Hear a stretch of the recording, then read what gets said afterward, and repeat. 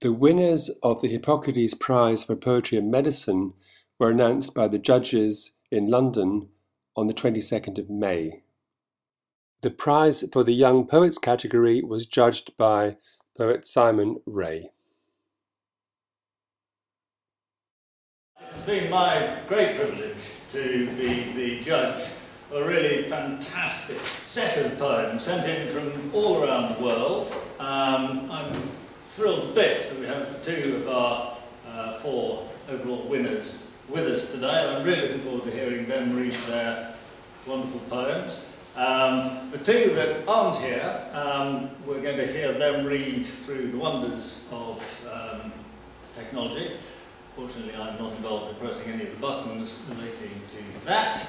Um, and um, then later, um, you will be able to study the poems, and they certainly deserve um, second hearing and further hearings in the anthology that will be available outside. Um, what I would say, I haven't got a great deal to say, um, given that I'm not um, going to give a lecture on, on the poems. Um, what I would say is that the best of them are not young people's poems, they're poems that happen to have been written by young people. Um, they do, of course, have a great liveliness and energy, but they have a tremendous maturity in the use of words, image, um, and a confidence which I found really, truly staggering. Um, and it was quite a battle to winnow out um, the four sort of top poems, um, and the um, sort of also rounds were very, very good, also rounds. Um, but I think I got it right. I had a um, 20 minute moment on the train. Um, I got it right, but I, I, I reread them all and I'm fairly confident in my judgment. So, without further ado, I'm going to um, read out the names of those um, who wrote commended poems. Um, and uh, these are in alphabetical order. Um, the light isn't very good, so if I get someone's name wrong, my apologies. Molly Garbutt of Tenbury Wells um, for a poem Crystal Violet. Era Murphy, if I pronounced Era right, um, of Liverpool, another Liverpool connection. Um, Leonardo da Vinci's Study of a Wound, which is a terrifically sophisticated poem, really very impressive. And then she snuck in with another one, um, Migraine. Um, very different, very different poem, um, but equally good. Talin Tahajin from Cambridge wrote Surgical Ward with hundreds of tiny lights. And Alethea Wang of Verdun, Quebec, Canada wrote Child with Ebola. Um, one of the things I perhaps might say is that some of the poems were obviously written from personal experience, and some of them, obviously that one, was not. But I think one of the impressive things about our young poets was how they were prepared to cast their imaginations um, far and wide and, and, bring back wonderful discoveries. And that is certainly a very good poem. And then, in a special category all of his own, the honourable mention. Um, probably is something called the honourable mention, but um, anyway. Um, this, this poet is called Charlie Devon, um, from Arrington and Royston. Um, and the anti-penultimate and penultimate lines of his poem, which is called Dad, um, I enjoyed very much as a dad myself. Um, his dog was a black bush and his heart was a bus. And my dog is a black bush, but badly behaved one. And if my kids think that, I'd be, pleased. Right, now we move on to the uh, short list, and we're going to take it in um, alphabetical order. Danny Cugini um, of Warwick is going to read her poem, The Surgeon Dissects His Lover, first. So Danny, if you'd like to come up.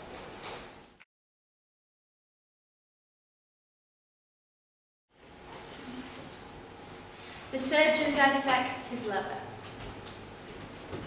Here I bear her quiet symphonies, each nerve a stilled shiver of violin string, the fluted tendons, the blood's insular percussion.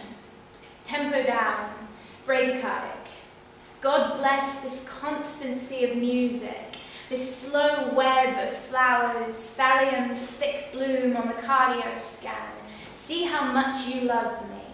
Her heart's carbonized sonnet, closely knit between slabs of meat. Down to the marrow, she is more than herself. She is more than sequined brittleness, more than the eyes I could take, the flesh readied for dicing. She is the wrought linen beneath my mouth, the soft within the softer, this choreographed mess of warmth, and I will not thank God for her. I will thank sepsis, embolism, every white that flushes the red out boulder, every knife that shyly yearns to kiss her. Bring me my bow of steel, my quiver of black roses. There is no song not left sweeter in the jaws of its end, in the call of its closure. Now, our next poet has uh, um, come all the way from America. He just has that uh, uh, cool um, place of residence in New York City. And um, his poem is wonderful. So if Alex Greenberg would like to come up. Um,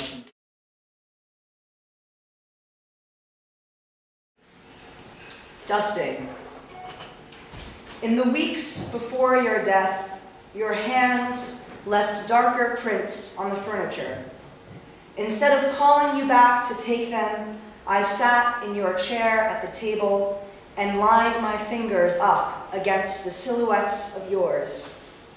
Let me wear your shadow for the rest of your time here, relieve you of that burden, so that your touch doesn't shut the hive of the blackberry nor dry out its purpled rain. Wednesday brought the first presage of what was to come. Every cough brought you lurching forward like a fishing rod under the sudden weight of your catch. And when your grandson kissed your hand, it took days for the blood to recirculate. Somebody kept your straws in a bag, chewed through and dripping. They remind me of the x-ray the doctor dropped off last week of your lung. Four copies lined up against the windowsill in hope that the evening breeze might inspire it. From now on, I ask the doctor to hold his breath when he passes by our house. I do the same when I pass by the cemetery where you now lie. and now we're going to hear from Alexandra Spensley from Ohio, also in the USA, Geography of a Bone.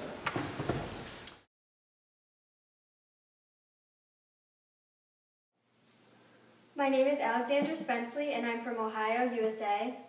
I will be reading Geography of a Bone, which was inspired by a compound fracture of my left arm when I was 11.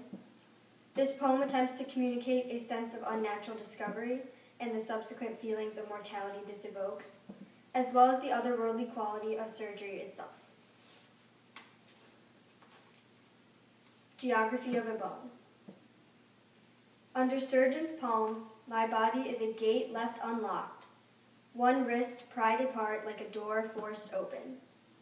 These scalpels turn my arm into an atlas, learn my flesh's secrets better than I know them myself. Sheets of muscle and vein peeled back and pinned. Ocean lifted from the shore, lips pulled back in a yawn. Consider the radial bone, white wires snapped and taut muscles slipped open. Consider skin, layers splayed against the doctor's damp butcher paper like butterfly wings stabbed across corkboards, an anatomy exhibition. Over an operating table frosted with shadow, men playing God lead me through a trial run with death. My outstretched arm lies limp as something forgotten, a corpse's limb rendered soft and surgical. Breathe me anesthesia. Awake with a heavy tongue, teeth thick and sore from the pills I swallow like grapes. overripe and swollen as the ones I picked with an arm once whole. Now scars lie aching and raw, dripping blood like wax. This line of stitches, a new zipper in my body, the sutures mottled and red, skinned outward like petals from a flower. I wait for the nurse to peel back the cotton, show me a hospital topography mapped upon my flesh. My left arm a string of bruises, the open wound sealed with an envelope of throbbing tissue. The gate now locked, the door pushed shut, a hinge of scars fastening the bone once revealed. Thank you. I was invited to judge this section of the Hippocrates Prize, I was told to come up with a winner. Um, I think all the people that we've heard of this, this evening are winners, but the overall winner is um, this poem, which we're about to hear, um, called Intraocular Pressure.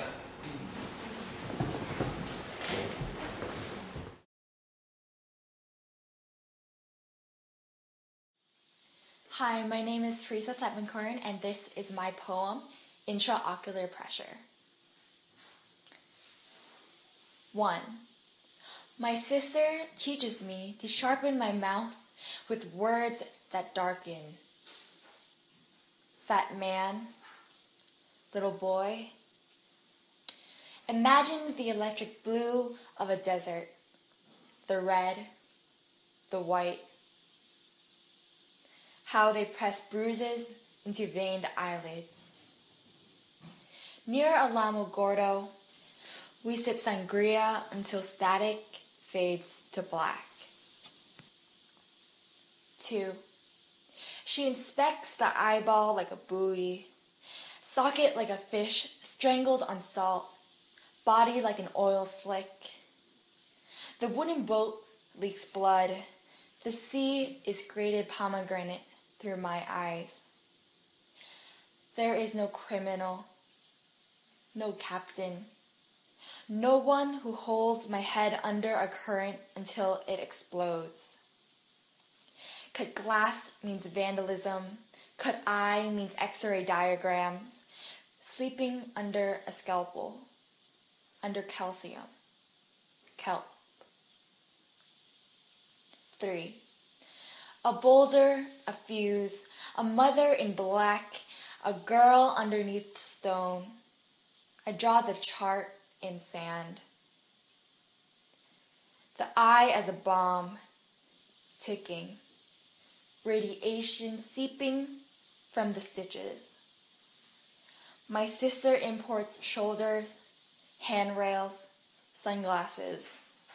Here is the part where I am twisted here is the part where there is no light at the end of the tunnel, where I pick a nose, a mouth, titanium ears from a treasure chest. Thank you. The Hippocrates Prize is an annual award with a deadline of the 31st of January. The award is for an unpublished poem in English on a medical theme with up to 50 lines of text. There is an Open International Award first prize £5,000, an NHS Award also first prize £5,000, and an International Young Poet category with a prize of £500. You can find out more about the Hippocrates Prize and order an anthology of previous winning and commended poems through our website, hippocrates-poetry.org.